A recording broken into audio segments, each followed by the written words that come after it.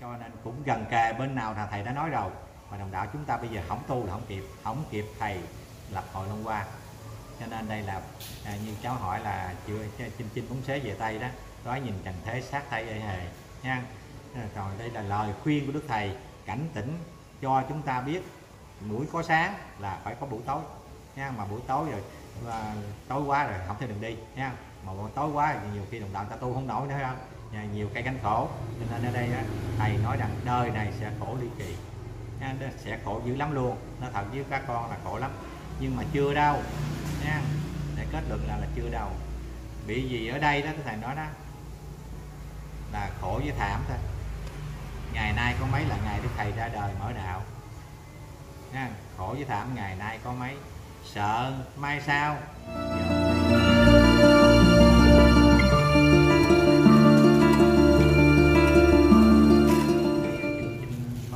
tây nói nhìn trần thế sát thấy hề thì à, nói đúng hơn đó thì đức thầy à, dùng cái à, phương tiện để ám chỉ cho đời hạ quân đã đã ta đã hết rồi đã hết đó à, nhưng mà giả sử bây giờ chúng ta qua hồi tưởng lại trong buổi sáng đi thì mặt trời mọc phấn đông rồi phải không? Đó thì từ từ cái trái đất nó phải quay quay trở lại thấy không? Thì 2 giờ chiều. Cái, cái chúng ta thấy chưa chưa phải xế nữa phải không? Nhưng mà đến thời gian thầy nói đây đó là tới 5 giờ chiều rồi thấy không? Bởi vì chinh chinh là hạ xuống hết gần tới đất rồi đó. Thầy nói rõ ràng là chinh chinh bóng xế về tay tức là mặt trời gần lặn rồi đồng đạo ơi. Nha bây giờ chúng ta phải cố gắng mà tu đi. Mà nào con hỏi thì chú ba chỉ nói theo giảng đó thôi nha chứ chú ba không có trình bày theo cái cái cái phương pháp khác như là cái văn tự này kia nọ đó.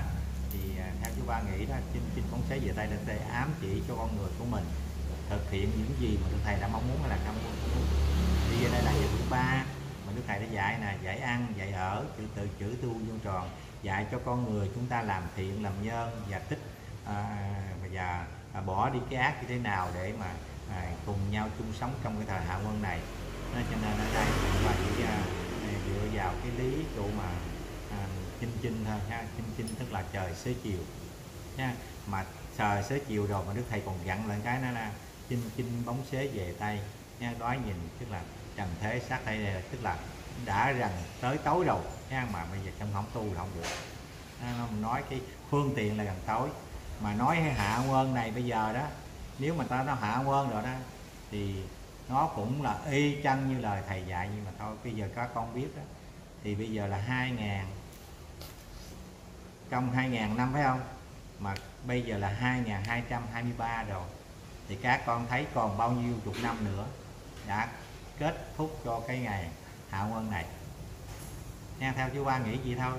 Giả sử bây giờ đó, bây giờ con à, tìm cái sao mà con được à, con cãi là cái số cái số à, thầy để không? Nha trong này là thầy nói, trong 2.000 năm diễn biến thất sơn nó là dọc trong 2.000 năm. Mà mấy ông đạo kia thì nó 2.000 là hết rồi. Cái mấy ông kêu mình ra thôi à, cái bữa 2000 2000 2919 nè thôi à, mua đồ mua đạt đi ha. Qua tháng năm tới đời hết rồi. Rồi xong sống đây bây giờ không loan rồi. Tới qua 2.000 năm rồi xong sống. Nhưng mà ở đây thầy đã nói có câu cái câu thòng nên là đồng đạo chúng ta còn chưa nhận thức được nữa. Thầy nói trong hai hai ngàn năm gì? Diễn biến thất sơn biến thiên phải không? Bây giờ hai hai ngàn hai ba rồi có biến thiên chưa? Núi chưa biến lại giờ biến thiên theo là biến núi đó ha à, là biến cái cảnh giới à, trên à, trời đó biến thiên. Nhưng mà ở thế gian mình có biến địa cũng nhà là lỡ đất mòn xói vào những cái gì đó ha thì hiện giờ mình đã có rồi. biến điện mình nó có biến địa rồi đó thấy không? Thì con thấy không? Cái đất tự nhiên á bề dài chừng mười mấy hai chục thước. Cái sông con sông mà nó cái bờ bờ bờ cái bờ bờ bờ bờ, bờ sông mình thấy không? Tự nhiên ông muốn lỡ cái ông lỡ tức tuốt vô đó thấy không? Cái đó họ hỏng cái đó họ hỏng biến địa sao. Nha cái này là địa là đất rồi nha. thì mình nghĩ con cái thầy nói có rồi đó. Biến thiên mà chưa mà thấy chưa có chưa có ông trời chưa có biến đổi. Biến đổi cái mà vận hành của ngài nói đó là trong cái quyển mà ông uh, sư giải bán khoai ông nói đó tháng 9 là sao sao đó mà mình không biết tháng 9 nào nha. Nó chín chín trời ra một đêm gì đó thấy không? Trời nó có ra trong cái giảng xưa. 13 tháng 9 ờ, 13 tháng 9 trời ra một đêm đó. Mà biết 13 tháng 9 nào thấy không? Mà, ở đó là biến thiên đó biến đổi tất cả những gì ở trên cõi trời. Mà chừng mình chưa thấy ai gì thì mình tu đi. Còn như câu câu hỏi là là cái, cái câu hỏi cũng như là à, hạ ơn đã sắp hết rồi hay không đó là bóng xế về tay thấy không? Mà bây giờ đức thầy nói đó nói về trần thế sát thay ê hề nữa thì bây giờ có biến địa. Đó, chú, ba xin nhà xác nhận với hai con đó là cái biến địa nó đã có trước mắt mình thấy một phần nào rồi. Cách đây chừng chưa được à, uh, 2 năm. Thấy không? Thì đã biến đổi cái uh, những cái dòng dòng nước chảy những con uh, rạch nhỏ hoặc là những cái uh, bờ uh, sông cái nha và những cái phần núi nào có những khe núi nước là thật mạnh nó cũng như bây giờ ở ờ, ở ờ, An Giang mình có mới hai tuần rồi. Còn cách đây mấy năm trước đó các con thấy không? Ở trên núi đó là ở ngoài miền Trung đó không? Miễn mà chạy xuống cái rồi cái khe đó chạy xuống cái rồi nhà như này họ mất tiêu hết trơn trời. Đó. nhiều lắm. Còn như mà nước mà dưng lũ lên nữa đó ở tại mà à, thành phố là quảng Đà Nẵng thôi mà nước ngập lên còn nửa nhà nữa con có thấy không?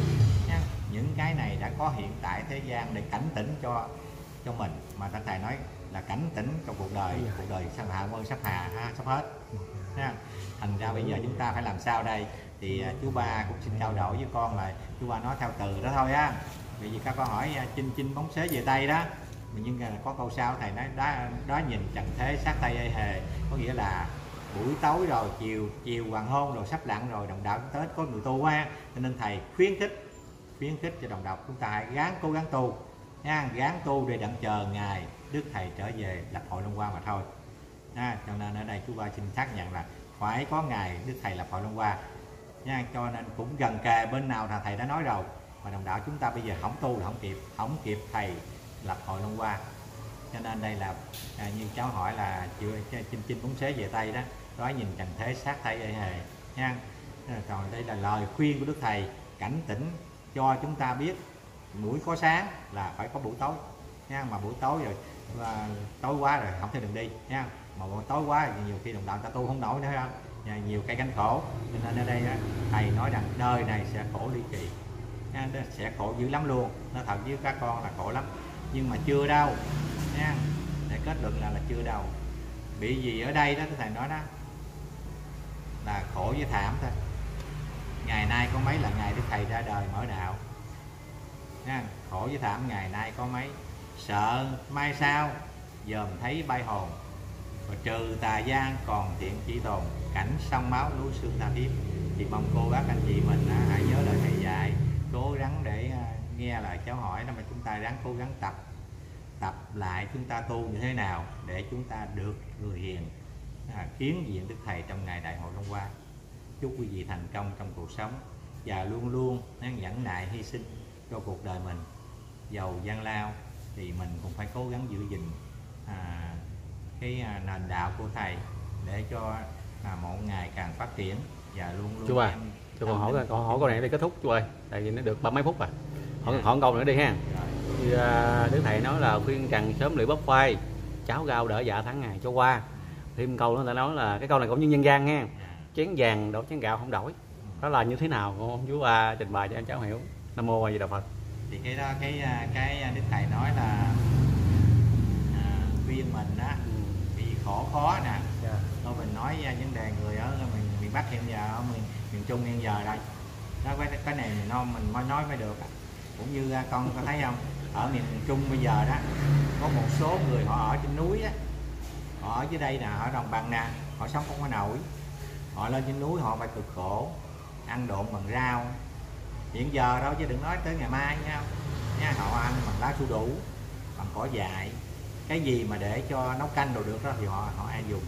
Rồi họ không có gạo ăn họ chỉ dùng một ờ, mớ mớ bắp mà, mà họ ở trên họ kêu bằng cái gì đó chứ không phải kêu như mớ bắp mình ha nó họ giả ra. Nó cho mình coi clip mình thấy rõ ràng là giả ra rồi họ mới lấy cái nước ờ, cám đó là họ nấu là dưới ba cái rau củ này kia đó để họ dùng. Dạ nó con thấy không? Thì con nói là cháo rau đỡ dạ. Là đức thầy đó khuyên trần sớm điện pháp phai có nghĩa là thầy cảnh tỉnh trong ngày xưa có rồi nha. Có rồi ngày trước rồi chứ không phải là mới đây. Bây giờ thời gian trước đó đồng đạo chúng đồng bào nhân đồng bào miền Nam chúng ta sống khổ khó dữ lắm luôn. Không muốn nói là phải nói tới cái đó mới được nha. Khổ khó với đó. Nhưng mà ông bà chúng ta đã ra đi hết rồi chưa kể lại cái sự khó khổ ở đời xưa nói thật, quý vị đó, nội cái này là quý vị thấy khó không? Người tàu mà qua nó cai trị cho mình đó là một ngàn năm. Một ngàn năm, thấy không? Đó rồi nó kêu mình sao phải không? Người tàu mấy ông kêu mình sao phải không? Phải là xuống sông đó, là mò ngọc trai, lên rừng nó phải tìm tê, sừng tê giác. Ở đồng bằng nó phải ruộng lúa để mà đem à, cống cống cống hiến cho họ để họ là mới cho mình sống được dễ dàng. Đó. cho nên ở đây đó đức thầy chỉ cái cảnh khổ nhất là thời gian đức thầy ở tại nhà. Yeah. mà năm đức thầy đi là cứu trợ miền bắc. Thấy không? Đây là lời cảnh tỉnh đức thầy ngày đó để cho chúng ta thấy cái đời hạng quân này có hay là không thôi. Nhưng mà chú ba tin tưởng rằng ngày mai đến ta sẽ đến. Vì vậy á là à, cái câu mà dương trần sớm điện bắp phai đấy cháu gao đỡ dạ tháng ngày cho qua rồi cái ngày cùng cột của buổi hạng quân yeah. nha bởi vì nè? À, đức thầy nói rồi à, nước trong cái thời gian nè là nước kia lửa nọ tưng bừng thôi hoặc là thất nhật đê mê tỉnh thôi thương ba năm không chọn nhóm chiều đâu. Nha cái bây giờ các con hỏi thì mình nói lỡ rồi nói luôn cái này mà mình đọc giả chứ mình không có nói cái ngày nào nha. À, mày ai nói tôi nói ngày này ngày kia là không được nha. Nó tội không chịu cho nên á cái khổ đó nó cũng con thấy hiện giờ nó có ít. Yeah. mà đến cái chừng mấy cái đó mới khổ nhiều. Thấy không? Cái- tại vì đây là lời thầy nói thì không thể nào sai mà chưa tới thấy không? Bây giờ tu đi. Tu mới hết mới mới không khỏi ăn bắp ăn khoai nghe không? Mà cháu rau đỡ dạ phải không? Mà không tu bây giờ đó tới chừng đó có chừng bắp khoai không còn ăn nữa kìa thấy không? Vì thế mà chúng ta phải cố gắng tu. Rồi à, cái à, cái chỗ này có nè cái chỗ các con nói là cái người xưa nó nói thôi phải không? Ta nói đến cái ngày sau đó nha cái cảnh khổ của nam bang mình đó. thấy không? Một ký gà một à, ký gạo thôi. Mà đem đổi một à, chỉ vàng đó người ta không đổi. Chứ không phải là là là thường đó chén vàng chén vàng đó chén gạo của anh. Cái đó thì người ta dùng sao không biết chứ có ông bà nó nói là một ký một một lượng vàng thôi thấy không? Một lượng vàng không biết nó là nhiêu đâu mình không biết mà con đổi chỉ một ký gạo mình không đổi. Một lượng luôn đó chứ không phải là một chén. Một chén sừng sừng hơn lượng nữa mà. Cái đó là sao mà mà mà, cũng nó quý hơn vàng nữa. Đó là cái đó đó không biết sao tới chuyện đó không có gạo ăn. Yeah. nói khổ không gạo ăn. Rồi cái cái, cái, mấy chén vàng cũng được hết trơn trời. Cho nên đức thầy có khuyên nè. Cái khuyên chúng ta đó bây giờ đó là phải cố gắng làm sao à, mà để làm lành thôi. Thầy có nói rằng mà có số nằm đọc ra đã không tin đây thì đến việc ly kỳ cũng thả trôi sông phải không? Đó, bây giờ tôm góp làm cái gì đi nha. Để cho mình có được đầy đủ phì nhiêu hơn bao nhiêu người khổ khác. Mà đến ngày nào đó rồi biết nó còn tồn tại hay là không thì thôi bây giờ mình nghĩ cái cuộc đời mình thôi. Giả sử một ông vua thôi ổng là xiến quản cả một cái nước nhưng mà khi chết rồi ông vua có cắm nắm gì được ha trong tay mình được cái gì hay là không đó là điều thứ nhất. Cha mẹ mình thôi rồi đến tới mình à ha cha mẹ mình thôi. Khi mà tuổi già đã ra đi rồi có nắm được cái gì trong tay hay là không nắm đây? Thì thôi giờ bây giờ mình đã thấy được đó, rõ ràng ở thế gian này rồi ha. Thì nghe lời thầy dạy là người xưa nói là dạng vật thế gian đô thì giả thì a di đà phật. Tất cả mọi gì cũng giả chính bản thân của chính mình đây nó cũng là giả. Nếu nó không giả thì sao ta gọi là đất nước gió lửa trong bản thân mình? Nó đây là nói thật thật với cô bác anh chị mình nghe rõ ràng nha nếu mà người ta nói thân mình là ngà ngọc đó thì a di đà không có phải. Mà trong cái thân xác của chính mình đó là do bốn bốn cái phải không? Đất nước gió lửa tạo thành cái thân thể của chúng ta mà thôi. Mà bây giờ chúng ta chỉ cho rằng nha, bản thân tôi không có bản thân ông nào bằng bằng bản thân của tôi là không được nha. tất cả những gì nó đều là giả tạm ở trên thế gian hết thì mong cô bác anh chị của mình. Nha, dạ, cháu thăm hỏi đó thì anh chị cũng nên cố gắng để mà đừng cười chú cháu thôi. Chỉ đây là hỏi để mà chúng ta à, tu chỉnh và sửa như thế nào bản thân của chính mình để mình có thể là có một số vốn để chờ thầy trở về là khi mà à, thầy nói là à, cái câu giảng thì rất hối thúc thấy không? Rất hối thúc đó để cho chúng ta có một phương tiện để mà chúng ta tu thôi. Nha bởi vì à, nói đời cùng này chúng ta phải nói hai cái à, hai cái à, phương tiện để chúng ta thấy được cái đời cùng như thế nào phải không? Chứ đừng nói đời cùng mà tới hạ quân thì à, mình chưa thể nói được. Mà mình phải lấy ví dụ như đời cùng của chính mình đi phải không? Cái bản thân mình và chính mình và cô bác chúng mình ở thế gian đi. Nha vì là có có cái gì ở trên trên này nó quỷ nó quỷ hoại đó thì thời gian sau nó mới không bị hoại được. Thấy không? Chứ còn bây giờ mình bắt đầu mình vô nói trên này nói đời cùng tu gấp kịp thì mấy ông đạo ơi theo gán tu đời cùng. Mà cái chuyện đời cùng nó nó nó, nó chữ đời cùng này nó không tận không tận đáp số là đã hết. Thấy không? Nó hiện giờ đó đức thầy nói cùng cái cùng này đó cùng à, không có tổ chữ cùng này không để ý được rồi ha. Đức thầy nói đời cùng tu gấp kịp thì là không có không có hết hết cái đời này. Vì phải chi đức thầy ông khuyên đó nha thì chúng ta nói đã hết là chấm dứt thì chúng ta nói được. Mà ở đây thôi đọc câu sau lại. Mình không dám nói chữ chữ chữ chữ hết và chữ chữ tột phải không? Tại vì mình đọc lại đi con uh, suy nghĩ phải uh, phải phải đồng nghĩa không phải không? Cái này nó đời cùng. Cái đức thầy phết ra gì đó phải không? Và hai chữ tu gấp thì chỗ này là không có tùng cột. Nếu tùng cột thì đâu có đức thầy đâu kêu mình tu. Thấy không? Nếu đã nói đời cùng đồng đạo ơi thì đã hết rồi đó thấy không? Mà đức thầy nói câu thật là lấy làm cái à, để vào cái tâm chúng ta đó có con nhìn tin vững chắc hơn. Mà đức thầy nói ha, bây giờ mình chỉ lập lại thầy nói mình hãy diễn tả thêm phải không? Mình nói đời cùng tu gấp kịp thì. Thấy không? Tại sao đức thầy vừa nói cùng mà đức thầy biểu mình mình tu?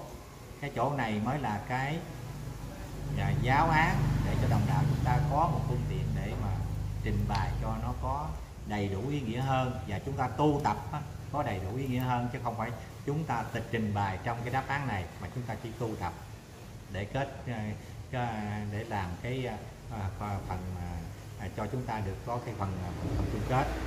Đó. trước là đời cùng của của con người ở thế gian. Thấy không?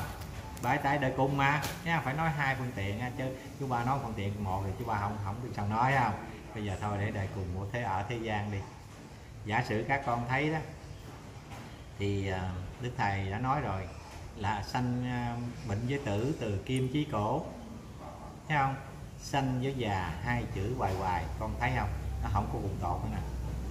Câu nói này không cùng tột đó, mà đồng đạo mình đọc cái câu nói này mà cùng tột con không học được nữa nè. Cho nên thầy nói đó bệnh giới tử từ kim, tức là từ thời xưa, mà chí cổ là hôm nay, nha. Bệnh giới tử từ kim, giới cổ. Sanh, giới già. Mà ông à, ông nói sanh già hết à? Không có nói à? Sanh già hết à? Đức thầy không nói đâu, phải không? Mà đức thầy còn thêm cái từ. Sanh, giới già, hai chữ hoài hoài. Đó, bây giờ, có đường ra không? Có đường ra nè mà tại vì đồng đạo chúng ta không chịu ra, phải không? Chỗ có đường ra nè xa à, à, à, bệnh với tử từ kim với chở xanh với, à, với già hai chữ hòa hòa cái thầy chỉ đường ra à, cái này là, là không không có trung cổ ra. Đường ra là thầy nói sao? Đức thích ca. Thấy không? Xưa ở đầu đài niệm tứ cổ nên ngài định đạo. Ngài thấy có bốn cái thanh lão bệnh tử thôi à. Mà đây là cái gì? Đây là cái dòng lẫn quẩn của con người ở thế gian. Thấy không? có à, có có tu đó thì không ở trong vùng lục trong lòng trong cái vùng trong cái dòng lục đạo. Còn nếu chúng ta được thấy được như được thầy dạy mà chúng ta nhìn theo cái à, sự hành đạo và tu chứng giải thoát của Đức Phật đó, thì chúng ta mới có con đường đi đến tu cánh và giải thoát để chuẩn bị cho cái ngày mai là hội năm qua hay là ngày chung cuộc. Thấy không? Mà đức thầy nói rồi xem chung cuộc phong thần tại thế bây giờ con à, có đọc uh, truyện uh, của uh, đời nhà, nhà, nhà, nhà chủ phải không yeah. Dạ. à, thì con thấy chơi hồi thời xưa chung cuộc như thế nào chung cuộc ông thần đó là chỉ còn có người hiền thôi thấy không còn tất cả bao nhiêu người gian người ác hay những người mà không tin tưởng là à, Phật dưới trời đó thì không có còn một sống sót cái gì hết trơn vậy vì thế ở đây chúng ta muốn phương, phương tiện để chúng ta trình bày cho cô bác anh chị mình thấy rõ ràng. Đó bây giờ mình muốn là thấy được cái là thầy nói rồi nha. Đời cùng tu gấp tức là đời cùng ông bà cô bác nội ngoại chúng ta hoặc trong đó có thân ta. Thấy không? Khi chúng ta lớn lên rồi thì chúng ta phải sanh. Sao sao sống rồi sanh rồi phải có bệnh có tử nó là trong cuộc đời của con người hồi mà ông bà đã nói gần tuổi nó, theo đời xưa thôi à. Bây giờ mình 80 tuổi gì con lành đó nhưng mà đời xưa có 60 tuổi là hết cuộc đời của con người à. các con có đọc cái chuyện của ờ, ông ờ, mà con cống bình á. Các con thấy hồi xưa mấy ông già mấy ông cô cụ mình đó hồi xưa có 60 tuổi à, là không chết thì cũng phải đem vô núi ở. Không chết cũng phải nhốt ở đâu cho chết. Nào hồi xưa vậy đó cho nên mới có cái vụ mà người xưa chỉ có 60 tuổi mà thôi chứ không được sống như bây giờ ba như hiện giờ của bác. Cho nên hai tuổi đó, thấy không? Hồi xưa vậy đó. Cho nên cái đời cùng của con người ngày xưa nó có giới hạn có 60 tuổi. Còn cái đời cùng của hiện giờ tra trong cái sự tu tập của chính mình á thì bây giờ nhà nước người ta à, đây bây giờ nhà nước ta còn phải uh, giảm bớt đời đi cái số tuổi của người hưởng thọ nữa kìa, thấy không? Vì trên thế giới này đó, ít còn người nào được 130 tuổi hay là 110 tuổi. Cho nên bây giờ số hưởng thọ đó, nó còn phải bớt lại từ 70 tuổi, nha. Trở lên là sẽ ăn được ờ, sẽ có ờ, nhà nước sẽ chúc thọ cho mình để sống với con cháu, thấy không? Thầy đang muốn nói, phải nói từ từ ha còn con có nghe được thì con mai mốt con à, à, trao đổi với chú ba vậy đó. Để mình thấy được. À, cho nên ở đây đó cho nên mình phải muốn đọc lời tôi rồi thầy mình phải nghiên cứu lại. Qua đời và lời thầy nói đoạn này và đoạn này đó nó đi vào đâu? Và phương tiện của câu này qua câu kia nó như thế nào để cho chúng ta có cái bài sáng mà thầy nói đó là thầy dạy cho mình đó, cũng như bài tán đố vậy đó. Ai tri tầm thì đặng hưởng nhờ nhau mà chúng ta chi được cái gì? Chi được cái chỗ nè. Nó sanh với tờ, bệnh với tử từ kim với cổ mà sanh với cô già, hai chữ hoài hoài đi thấy không? Mà chúng ta chỉ chi ra nguồn gốc của thái tử Siddhartha. Ngài cũng như mình mình cũng như ngài, mà tại sao ngài có phương tiện nha chu, tu, chứng đắc và dự vào cái đại hội Long qua ngày xưa thấy không? Thì hôm nay đồng đạo chúng ta cũng thế thôi thấy không? Bây giờ chúng ta muốn là y theo là thầy dạy đó là à, đức thầy nói biết câu phải không? À, mình với tử à, à, đời cùng tu gấp kịp thì đặng xem báo ngọc nè. À, cái chỗ này mới là à, chúng ta thấy ha được không? Bây giờ muốn xem báo ngọc thì chúng ta phải có một cái tư tưởng chính đáng cũng như thái tử ngày xưa vậy thôi. Phải có một cái sự à, hạ cái này là chấp thủ đó nha. Làm sao phải tu? Thấy không? Vừa giải thoát cho bản thân mình vừa giải thoát cho tất cả những người xung quanh thì chúng ta mới là thấy là lời thầy dạy. Đây là lời nói đàn à, cũng đầu mình phải không? Nó bây giờ con con thấy đi có gì đâu hơn đâu. Đó vì thầy nó nói rồi đó, là cái cái tuần quần ở thế gian nó chỉ là đời cùng tu gấp là cái thầy nói rõ ràng. Nó mà bây giờ ai không bây giờ nè con khỏi nói cái đời cùng mà người ta cũng nói nè, động đạo nói nữa. Hạ ơn này khổ lắm rồi ba ơi người ta nói với mình á bây giờ ông ba thấy không? Trên thế giới này giờ không biết nói sao hết chứ sự, sự khổ mà đức thầy nó nói đi. Nhưng ai di đà phật người ta chỉ biết nói khổ mà người ta không biết tránh khổ. Thấy không? Cho nên ở đây mình phải có một bí quyết tránh khổ. Vì đức thầy nói rồi nếu biết khổ thì bây giờ tại chị cháu hỏi đời cùng mà không khổ sao cùng phải không? Thì mình phải tìm qua cái chỗ này. Nếu biết khổ thì mau mau tránh khổ. Mà tránh khổ chỗ nào đó? Để tránh khổ vào con đường đạo. Mà đường đạo đức thầy dạy sao? Nếu muốn nếu biết khổ mau mau tránh khổ ráng cầm dồ vào đến chỗ an cư. Đó mà không có từ bi không có hỷ xã thì gọi sao là an cư. Mà thầy đấy à, ta, ta đến chỗ an cư học câu. Thấy không? Hỷ xã đại từ. Nêu gương nghĩa sĩ sự nghĩa sĩ dạ tư chớ gạch thấy không? Thì bây giờ con là người tu như như chú ba. Con để tóc, chú ba con để tóc. Mà con có tâm từ bi hơn chú ba. Tức là con đã nhận được cái à, cái này là gì chị bí quyết mà đức thầy đã dạy, giải thoát cho mình. Vì con bỏ cái à, cái cái lòng của chúng sinh rồi. Dạ tư con không không không còn, phải không? Thì chính con đã đạt đi mục đích cứu cánh giải thoát. Thì chỗ này là đời cùng. Mà mình biết được chỗ giác ngộ thì con mới thấy được đời cùng thấy không?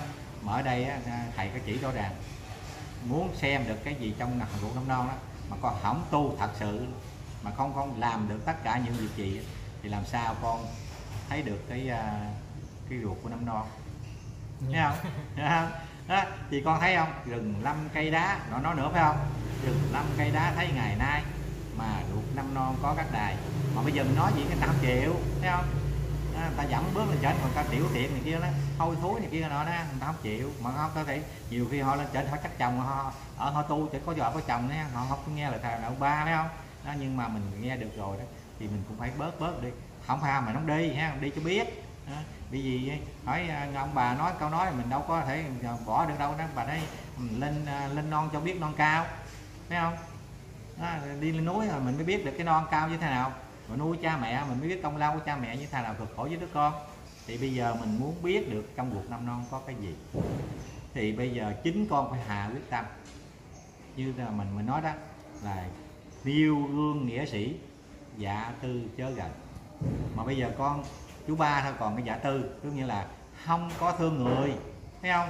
Thấy người ta lợi cái đấy, thôi giờ ông này bữa nay chắc ông muốn lợi xin mình, thôi mình trốn đi, thấy không? Cái giả đó giả gì, không biết giả gì đó giả tư rõ ràng nữa không? Đó cho nên đó, đối với giữa sự tu giữa chú với con thôi. Mà con có được bốn cái mà đức phật đã nói nha từ bi và hỷ xả thì con đã ban vui tất cả cho mọi người. Thì dạy gì hôm nay mình không nghe lời thầy dạy nha mình để làm y như lời của đức thầy đã dạy cho mình. Thì làm sao mình không thấy được gục nông non. Đó là cái là chữ tu thôi. Còn cái chữ nãy mình nói là ở đời là làm giả là có nghĩa là mà thầy nói nữa. Nói tại vì nói chúng hình là phải nói thôi, không? Như thầy thầy nói trong cái à, tỉnh bạn trần gian đó, thế trần tạm giả gạt đời ta. Thấy không? Nước khỏi sông mê, khỏi ai nè. Mà nhân giới nước không nổi sao đây, phải không? Nước không không nổi là xa địa ngục. Đọa tam đồ bắt đăng thác tục. Mà trong kinh kim cang đã nói nha con. Nha thì à, cái này là tiền. Trong kinh kim cang nói rõ ràng. Cho nên những người tu tập của chính mình phải cố gắng làm sao giữ giữ niềm tin. Đó thì mình à, nói không phải nói như mình nói đi thầy nói đừng đạo đức bước đi thì mất. Nhưng mà có cái đặc biệt của mình á, nội quan cảnh tức là trong tâm của chính mình. Cái nội quan cảnh tâm vô kỳ vật. Nếu trong tâm mình không còn cái gì mà nó uh, sướng lên những sổ khó của nhân loại thì chính thời gian đó mình đã đạt được mục đích cứu cánh giải thoát cho mình mà thôi. Thấy không? Cho nên ở đây đó ông ba chú ba cũng xin các con cố gắng trong này giả sử bây giờ mình thấy à, nó khó đi quá thì mình đi theo con đường trung đạo mà đức thầy đã dạy đó để mình thẳng bước đến là, là dự kiến hội đồng qua. Còn nếu mà mình thấy rồi mình đi ngon lành phải ăn vượt được phải không? Thì mình nước cái gì nữa chậm chọi á. Bây giờ đức thầy nó nói rồi nước bể sông ai khỏi ái hà. Mà ngặt có cái mình còn dính lại như, như mấy đồng đạo mình thôi chịu đi phải không? Lớp không khỏi. Dạ, không khỏi là do mình phải không? Chứ à, với chú ba cũng khuyên à, mấy đồng đạo mình cũng vậy đó chứ ờ, miếng mà là lỡ nói tại nghiệp của tôi thì ai gì là phật thì từ từ mình có đổ thừa cái nghiệp mà mình đổ thừa là tại tôi bị tôi kiềm chế dục vọng không được thành ra tôi chịu khổ mà thôi. Thì ờ, thầy không có bắt lỗi chứ tha chứ tha, tha, chứ thánh chứ thằng không có bắt gì hết trơn trọi mà chính mình nói dối nữa là học được phải không? Vì thế mà mình gắng cố gắng. Nên thì ờ, chưa như ở đây thì cháu hỏi thì mình phải lặp lại lại lại, lại cái câu chỗ này. Vì cái này nó nói từ khúc là nó, nó mới được. Như con nói là Đức Thầy đã nói ờ, là đời cùng tu gấp lại tu gấp cái chỗ là kiến tánh thấy được. Thấy không? Đó, đời cùng tu gấp kịp thị tức là kiến tánh thấy được như thái tử Siddhartha cũng như đức thầy mình hay chư Bồ Tát đã là thấy như thế nào để quyển chuyển lại tư tưởng của chính mình làm cho trong sạch lương tâm. Mà đức thầy đã nói là tâm bình tĩnh thì được thì phát huệ mà nhận được những sự khổ khó thế gian thật sự thì chính đó là mình đã bước đi lên con đường mình đã à, cứu cánh về giải thoát. Mà luôn luôn đi vững vàng trong cái việc tu tập của mình như thầy như thầy nói luôn cái câu này thì nó khô thiệt đó câu hỏi đang khô thiệt đó ha. Vì con nói đời cùng tu gấp kịp thì đặng xem báo ngập ly kỳ năm non. Bây giờ muốn tu gặp nam ruột năm non thì phải gì ta làm thế nào? Phải buông bỏ tất cả những gì đã dừng bài với cái à, lời nói của thầy đó nha. À, là của là sĩ ta mà thôi chứ giờ không mượn chỗ nào chưa gáp vô được chân trời thấy không? À, đâu rồi chỗ nào đâu có gáp vô được đâu phải không? Mà gấp là gấp cái chỗ là nhận thức chi biết nhưng mà thầy nói đó bổn phận làm người phải làm gì trong kiếp sống? Cái trách nhiệm bổn phận của đồng đạo chúng ta thì có bao nhiêu thôi mà thôi chứ không có nhiều đâu. Nhưng mà nói vòng vòng thì chúng ta phải cố gắng tu thôi phải không? Chứ mà không tu thì không thấy ruột năm non đâu. Cũng bây giờ nè cũng như bây giờ có à, hồi xưa đi ông nội của con á ông lỡ ông giấu đồng cái hũ vàng. Thấy không?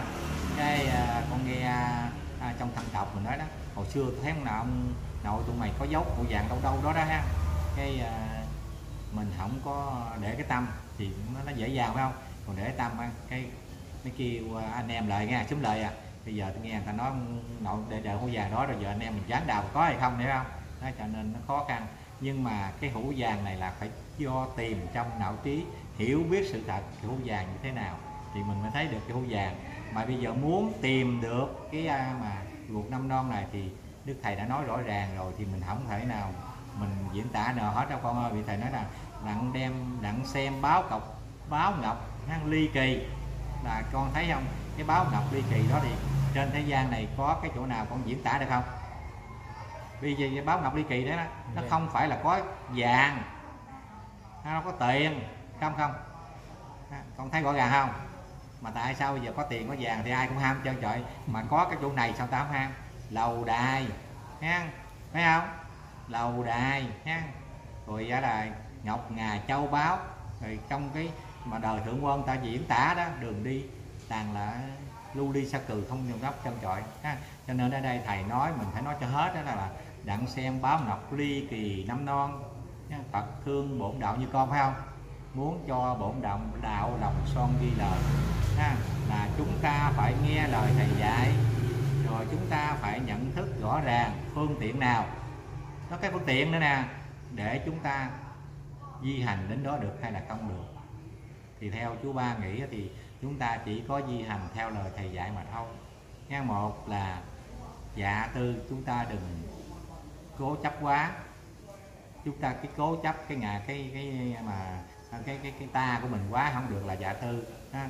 còn bỏn sẻn tư tưởng không chánh đáng, không đem lại cái gì phúc lợi cho toàn thể mọi người trên bước đường tu tập. Trong cái buổi hạ quân này mà thôi, mà chúng ta thấy rằng một buổi hạ quân này là sự thuộc độ thật sự. Thì đồng đạo chúng ta hôm nay phải nghe lời thầy dạy, thấy không? Nghe lời thầy dạy, rồi nghe lời Phật dạy. Phật biết cái gì? Phật biết có bốn điều khổ mà Phật thành Phật thích ca nha. Ngài quán xuyến cả một trung trời hiện tại ngài là vị giáo chủ của con ta bà này. Còn tại sao hôm nay chúng ta? Cũng như ngài thôi mà ngài nói sao? Ta là Phật đã thành chúng sanh là Phật sẽ thành. Mà tại sao chúng ta hỏng? Có nghe lời thầy dạy cũng như mấy ông đạo ưa lên cái diễn đàn ưa có nói câu nói mà nhìn Phật giáo mà tìm cái lý đó. Coi tại sao tao phải tu hành thấy không? Mà bây giờ mình không tìm được lý lẽ nào hết á, thì mình chưa giải đáp được bài tán đố này. Mà bây giờ chúng ta tìm được cái phương tiện tu tập giải thoát cho đời mình và tu tập cho tất cả bao nhiêu người chung quanh của mình được siêu sinh cực lạc. Đó mới là trách nhiệm bổn phận mà mình sẽ diện kiến đức thầy trong ngày đại hội hôm qua. Và luôn luôn ẩn ý trong đó rất nhiều tình, tình huống ha, sâu kín cho con người tu tập. Nhận thức thế nào là quyển thân ở thế gian? Cái gì còn hôm nay, có hôm nay thì ngày mai nó sẽ mất. Mà chúng ta tu làm sao cũng như Phật và Đức Thầy chúng ta thấy ngày mai có một cái hiện tượng gì mà chúng ta cần nắm bắt để chúng ta đeo đuổi và hành trình của nó là gì? Là giải thoát và